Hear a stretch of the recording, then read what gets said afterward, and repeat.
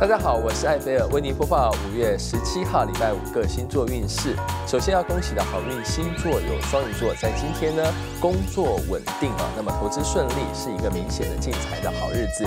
水瓶座的朋友呢，今天是浪漫的约会哦，适合告白，感情升温。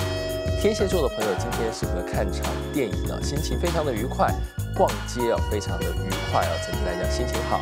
两名星座今天特别小心，分别是金牛座的朋友，财运耗损哦，小心投资被骗哦。双子座的朋友呢，在今天呢，请你要特别注意消化不良，小心便秘的问题又持续发生。各星座在今天的幸运数字及幸运颜色，火象星座请你用橘色数字一，土象星座请你用金黄色数字四，风象星座请你用红色数字八。水象星座，请你用卡其色数字五。